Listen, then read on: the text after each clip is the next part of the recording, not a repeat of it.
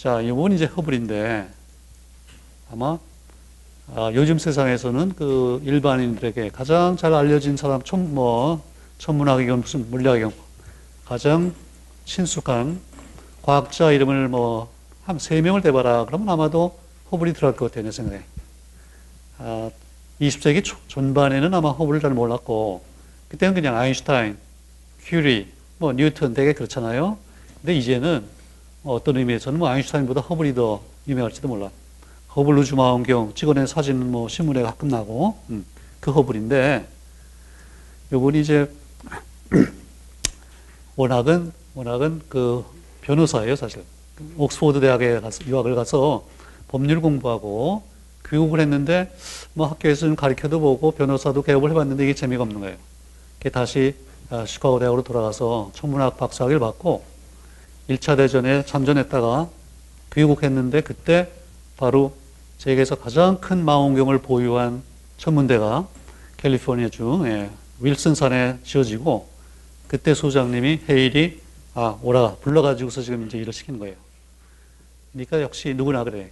진짜 그 right time, right place 이 중요해요. 어, 내가 어느 시점에 어디에서 일할 수 있는 기회가 주어졌냐 그게 중요한데 근데 그런 기회가 주어지려면요 항상 준비가 돼 있어야 돼. 예. 그러니까 이 사람은 항상 최선을 다하는 사람이에요. 고등학교 때도 그냥 올해 학생이고 운동 만능 선수고 그래서 또 로즈장 학생이 됐고 귀국했더니 헤일이 소장님이 어 네가 제일 쓸만하다 불렀단 말이죠. 그래서 세계에서 가장 큰 망원경을 가지고 예? 연구할 수 있는 입장이 됐는데 이분은 특별히 지금 안드로메다 성운에 왠지 몰라도 끌렸어요 지금. 안드로메다가 뭔지 잘 몰라요 지금. 음, 이게 우리 은하에 있는지 뭔지 잘 모르는 상황인데 그 안드로메다 집중을 해가지고 자, 근데 이 일이 아까 그 리비트도 참 따분하고 참 그 지겨운 일인데 이건 뭐 마찬가지예요.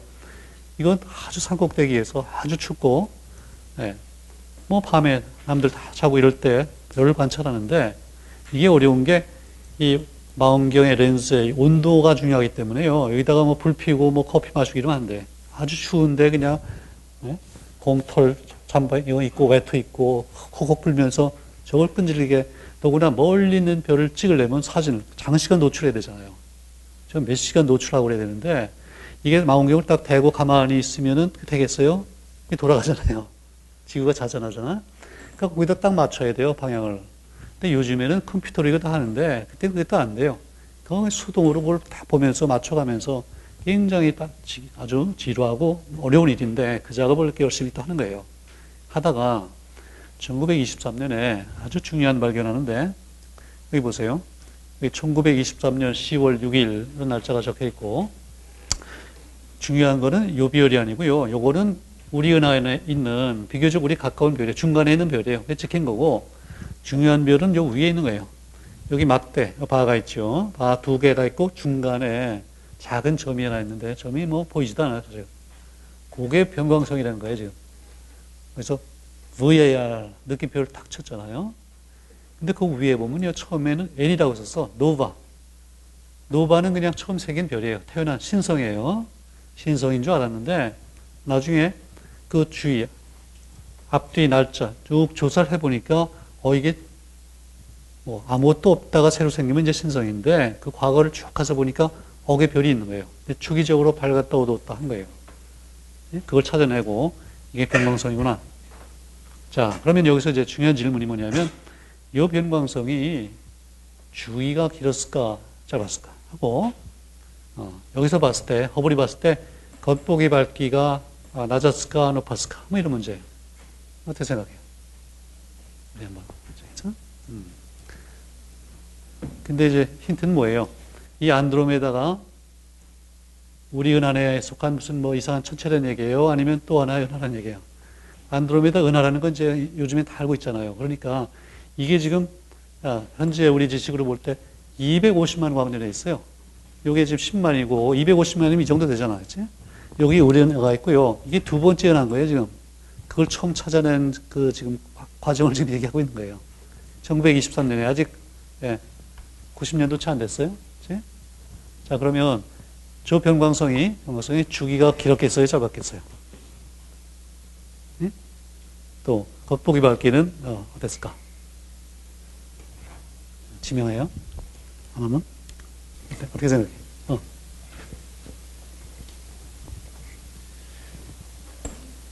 일단 안드로메다 은하가 안드로메다, 어, 오케이. 어, 예. 좋아요. 어, 합시다. 음, 아무래도 이제 우리 은하 밖에 있다고 현재 밝혀져 있으니까 평광성의 주기는 아마 길었을 것 같고요.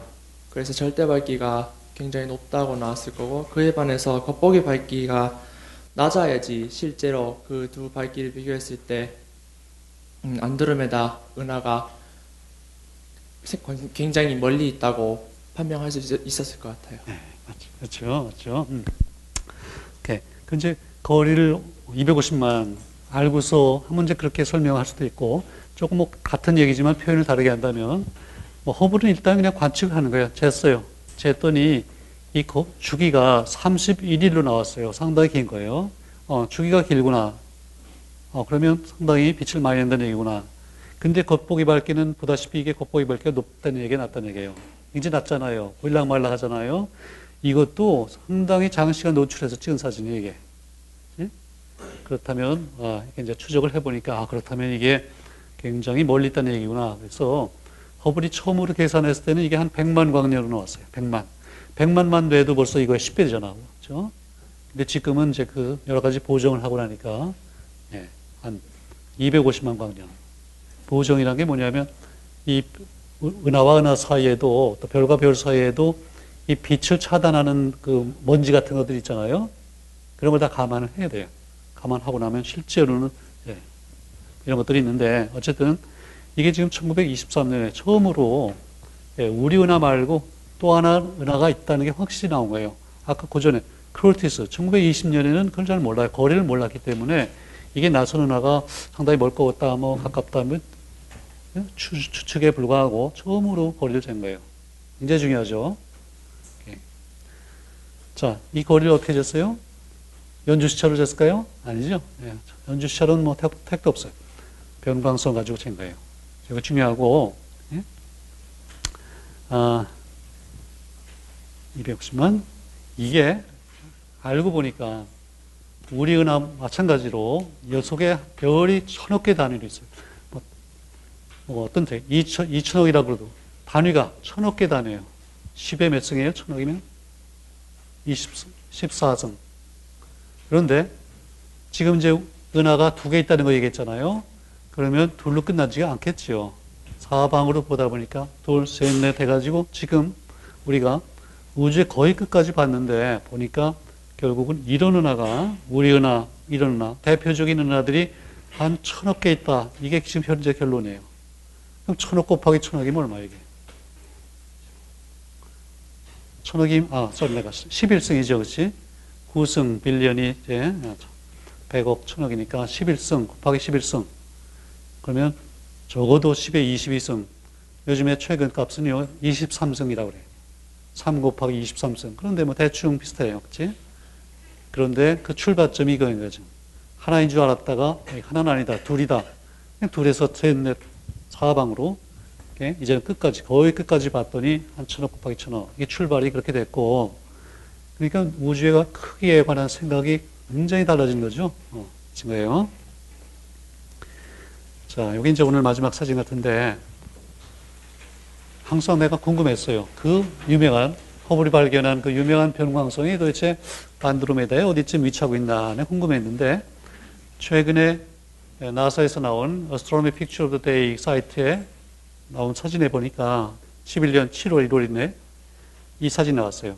이게 안드로메다 성운인데, 여기 요 위치, 이렇게 해가지고서 이 허블이 찍어낸 유명한 사진. 그게 요 위치에 있다는 거예요. 여기 발표가 됐어요. 요걸 통해서 우리가 안드로메다 거리를 쟀고, 오케이. 음. 자, 여기까지 이제 정리를 합시다. 아까 연주 시차로 잴 수 있는 한계는 뭐 때문에 온다 그랬죠? 뭐 기껏해야 뭐 백광년 단위인데 그때 한계는 각도였어요. 그렇죠? 각도였어요. 자, 여러분, 이 변광성으로 거리를 잴 수 있는 그 한계가 뭐가 있을 것 같아요? 아니면 이거 뭐 많이 잴 수 있을 것 같아요?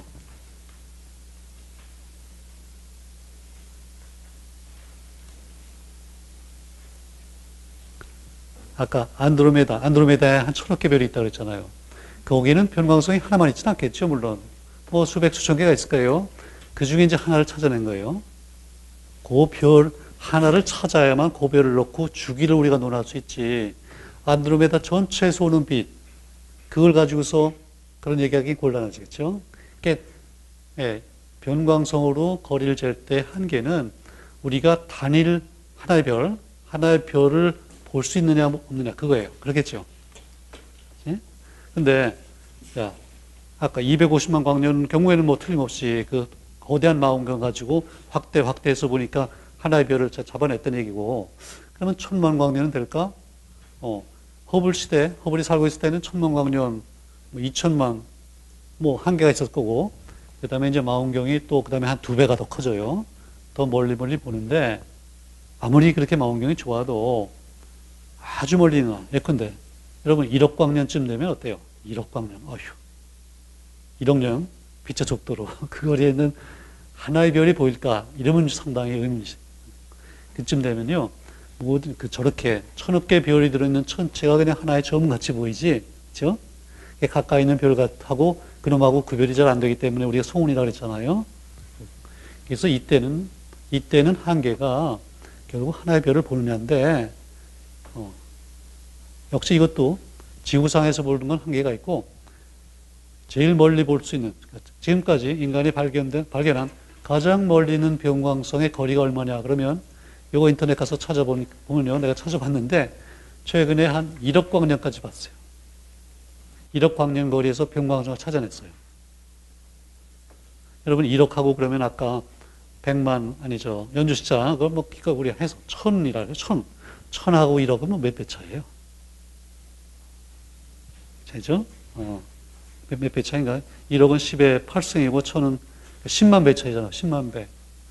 그러니까 이 리비트의 그 업적 때문에 우리가 거리를 잴 수 있는 한계가 이게 10만 배로 늘어난 거예요. 엄청나게 늘어난 거지. 야, 그러니까 리비트의 업적이 얼마나 중요해요. 이제 그게 하나 있고. 그 다음에 이제 질문이, 아니, 그러면 1억 광년 이상은 또 어떻게 될 거냐? 1억 광년 밖에는 뭐가 없느냐? 그건 아니죠. 1억 광년 밖에 또 있죠. 어디까지 있어요?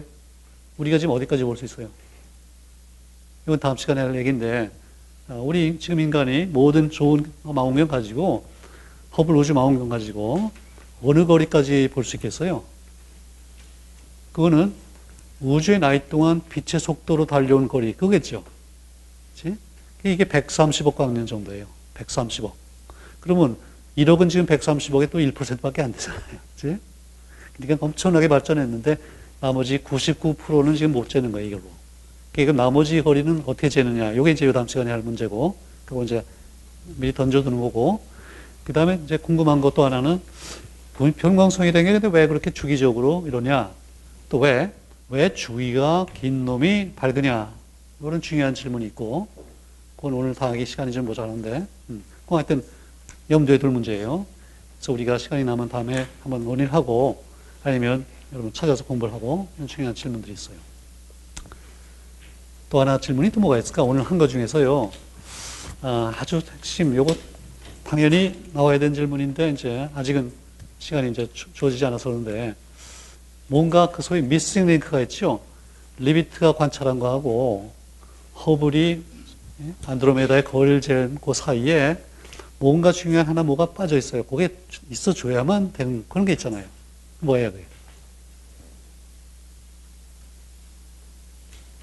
자, 리비트가 한 얘기. 리비트의, 이거를 요즘에는요, 리비트의 법칙이라고도 그래요.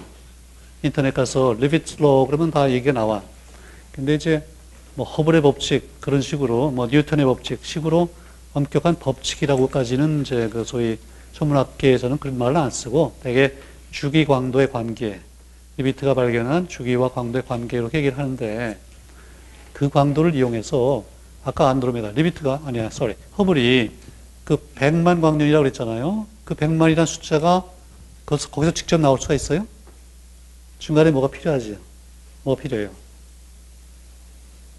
리비트가 얘기한 거는 주기와 광도 간에 그 광도를 우리가 절대 광도로 이해하면 돼요. 광도 간에 비례 관계가 있다 얘기한 거죠. 그렇지? 비례 관계가 있다는 거예요. 얘기 안 한 건 뭐예요? 뭐 비례 상수가 뭐라든지.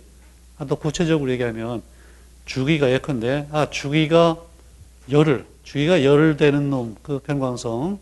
요거는 절대 밝기가 몇 등급이다 이렇게 얘기한 건 아니지. 잖아요? 절대 밝기가 얼마라고 딱 구체적으로 숫자 주는 건 아니에요. 그게 이제 부족한 거예요. 그건 누군가 해야 돼. 그거는 제가 아까 셰플리 이런 분들이 또 다른 이제 대학원생들의 도움을 받아가지고 그걸 했고 그런 잣대가 이- 만들어졌기 때문에 그 몇 년 사이에 그래서 허블이 이제 그거를 도입을 한 거예요. 그래서 리비트가 한 일을 우리가 어떻게 표현할 수가 있냐면요. 리비트는 멀리 있는 별의 거리를 잴 수 있는 잣대를 만들었어요. 잣대를 준비한 거예요. 잣대. 우리 그 편천문학에서는 이건 standard candle이라고 그러죠. 표준 광원, 광원이죠. 뭐 촛- 촛불이라고 봐도 좋고. 근데 거리를 잰다는 면에서는 우리가 잣대라고 하는 게 더 이해하기가 쉬울지 몰라요. 잣대가 있어요. 리비트가 얘기한 건 잣대가 있어요. 얼마나 잣대가 있어요? 음. 주기가 두 배 되는 놈은 요거의 두 배다. 그렇게 얘기를 했는데 구체적으로 얘기 못한 건 뭐냐면 요 잣대에 지금 눈금이 없는 거예요, 지금. 그런 얘기죠. 아, 눈금이 없어요. 눈금이 있어야만 아, 주기가 요거는 뭐 이 정도면 2m다, 3m다 이걸 할 텐데 눈금이 없는 거예요. 그러니까 눈금 매기는 일을 이제 그 다음에 누군가 했겠죠. 그치? 아마도 리비트에게 충분한 시간과 기회가 주어졌으면 그 후속 일을 했을 거예요, 아마도. 그래서 리비트가 눈금까지 매기는 중요한 일을 했을지 모르는데 리비트가 불행히도 이런 중요한 발견하고 나서 어, 일단 중- 좀 중- 중병에 좀 걸리고 또 소장님이 이제 그 피커링이라는 소장이 돌아가고 바로 이 셰플리가 천- 하버드 천문대 소장으로 왔어요.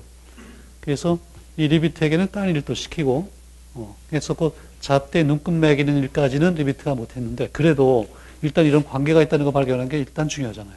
그치? 이게 없이는 절대로 허블의 법칙이 나올 수가 없어요. 이게 없이는 우리 은하의 크기 10만 광년 그것도 나올 수가 없고 그렇잖아요. 그러니까 이 현대 천문학에서 아주 기반되는 주춧돌을 리비트가 놨다고 볼 수가 있어.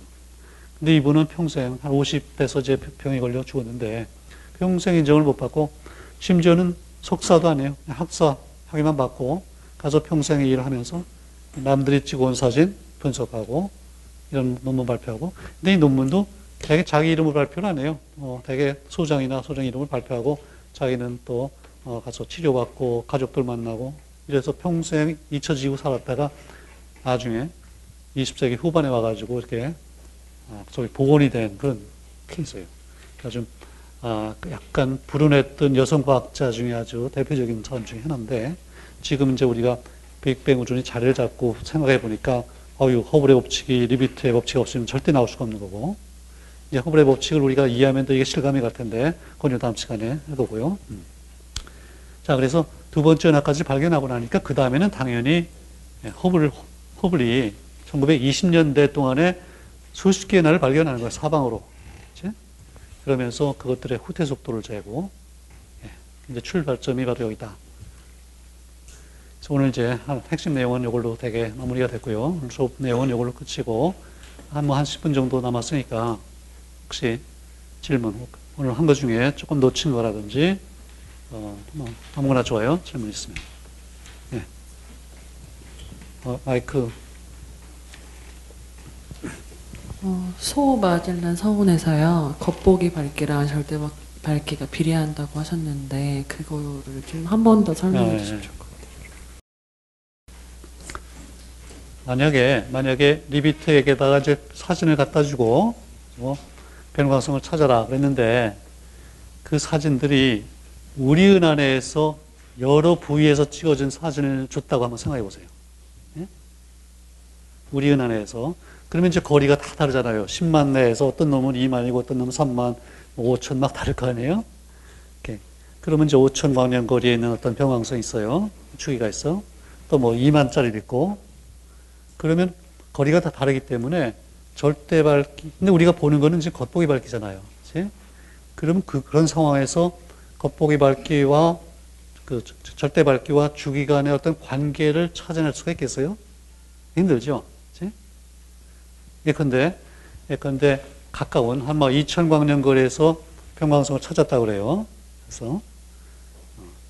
근데 이거 주기가 길다 그럴까요? 짧다 그럴까? 주기가 좀 길다 그럽시다. 그래서 빛을 많이 내요. 그래서 밝아요. 근데 여기 가까워요. 그러니까 이놈이 도대체 가까워서 밝게 보이는 건지 빛을 많이 내서 그런지 알 수가 없잖아요. 또 멀리 2만 광년 거리에 있는데요. 어, 이게 주기가 좀 짧은 놈이 발견됐어요. 그러면 주기가 짧아. 근데 이게 뭐 머리가 머리가 어두운지 이게 뭐 빛을 들려서 그런지 알 수가 없다 이 말이에요. 그런데 소마젤란 성우는 지금 다 거리가 같잖아요. 그치?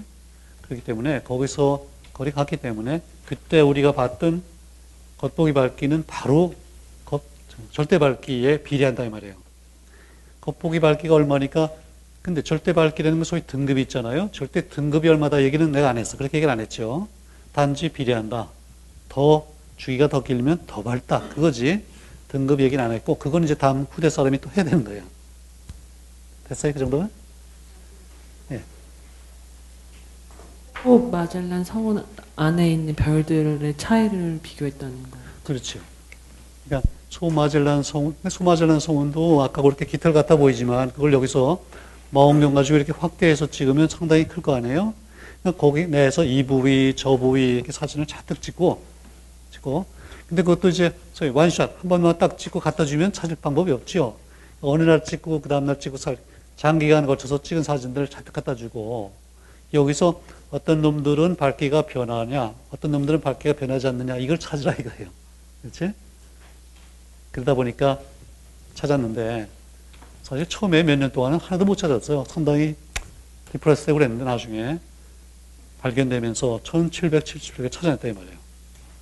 그러다 보니까 아 주기가 길수록 밝구나. 이게 이제 발견이 된 거고. 됐죠? 어, 또 다른 점. 예. 아, 그 연주 시차로 거리를 구할 때는 병광성이든 아니든 다 거리를 구할 수 있는데 그러면 그 밑에 주기하고 광도하고 관계를 이용해서 거리를 구할 때는 꼭 병광성이어야만 거리를 구할 수 있는 거예요. 그렇죠. 연주 시차 경우에는 밝기 뭐 이건 관계 없죠, 그렇죠? 각도만 재면 돼요. 근데 평광성의 경우에 예, 주기가 없, 뭐 항상 밝기가 같았다. 평광성이 아니에요. 그 경우에는 절대 밝기엔 정보가 지금 없잖아요. 그러면 그런 별들은 거리를 어떻게 구해요? 그런 별이라는 게 그, 그 뭐지? 병광성이 아닌 아닌 거. 별들은 어, 거리를 어떻게 구해야 되는 거예요? 아닌 거는 연주 시차로 잴 수 있는 데까지는 재고 그 넘어가면은 잘 못 재는 거지. 그러니까 안드로메다가 아까 100만이라 나왔는데 그 100만 안에 한 천억 개 별이 있잖아요. 그 천억 개 별은 거리를 직접적으로는 모르는 거예요. 그런데 그것들이 몰려 있는데 그 중에 병광성이 있고 고놈이 주기 이걸로부터 한 천, 아, 백만 광년이 나왔다 그러니까 아 나머지들도 같이 몰려서 천 백만이구나 이렇게 되는 거지. 그치? 또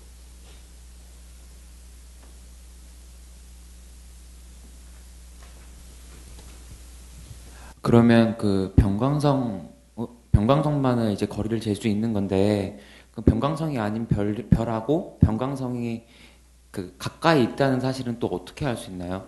그 이렇게 성운 같이 몰려 있을 경우에는 추측을 할 수 있겠지만 예를 들어서 병광성하고 같이 붙어 있어도 그것이 바- 근처에 있다는 것을 또 알기가 또 어려울 것 같은데요. 어, 모르죠. 그럼 그런 경우에는 제 방법이 없는 건가요? 뭐 거의 없다고 봐야겠죠. 그러니까 근데 우리 연안에 아, 우리 연안에서 우리에게서 제일 가까운 병광성이 혹시 뭔지 그것도 궁금하잖아요. 궁금하죠. 그게 바로 북극성, 북극성이래. 오, 이 북극성은요 밝기 항상 일정한 줄 알았어요. 근데 나중에 정밀하게 재보니까 이게 병광성이에요. 요게 거리가 한 200광년 거리예요. 광년. 이렇게. 자 그러면 그런 게 있는데 우리가 볼 때 옆에 있는 별이 옆에 있단 말이죠. 근데 그게 옆에 있다고 해서 반드시 가까이 있는 건 또 아니죠. 같은 그 시선상에 있다는 얘기지.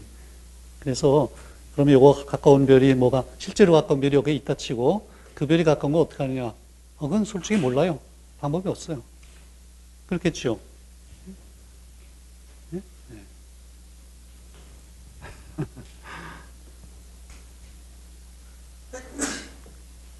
이렇게. 아, 근데 뭐 지금 얘기한 대로 그래서 어떤 다른 이유로 이것들이 몰려있다는 걸 아는 경우에 우리 은하 내에도 그런 것들이 많이 있어요, 사실. 그렇죠? 집단들이 있는데 그런 경우에는 하나를 알면 아까 얘기했죠. 구상성단이 있다고 그랬죠? 그때 몰려있기 때문에 거기서 하나를 알면 이게 아까 팔망광년이다. 이쪽에는 뭐 이마이다. 이렇게 이제 알게 되는 거고. 어. 나머지는 직접적으로 되긴 힘들죠.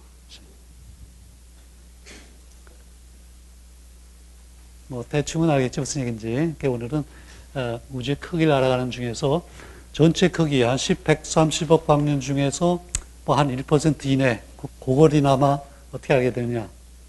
그것도 상당한 발전이에요, 그렇지? 어, 그걸 지금 한 거고 다음 시간에는 나머지는 어떻게 됐느냐. 그걸 하다가 결국은 우주의 나이를 어떻게 알게 됐느냐. 이제 그렇게 얘기가 전, 전개가 될 겁니다. 예. 더 특별한 질문 없으면 오늘은 여기까지 하고 또 우리 인터뷰 몇 사람 또 해야 되고 그러니까. 오케이, 그럼 다음 시간까지, 아, 다음 시간에는 어, 누구더라? 학생이 그 한 15분 동안 발표를 하기로 했어요. 그러니까 잘 듣고 미리 좀 공부를 해가지고 잘 듣고 또, 또 질문도 하고 또 나중에 또 같이 토의하고 이래서 이제 마무리 짓고. 이렇게 일단 여기까지 합시다 오늘. 자, 1분 쪽지에 좋은 질문들 또 적어내고요. 음.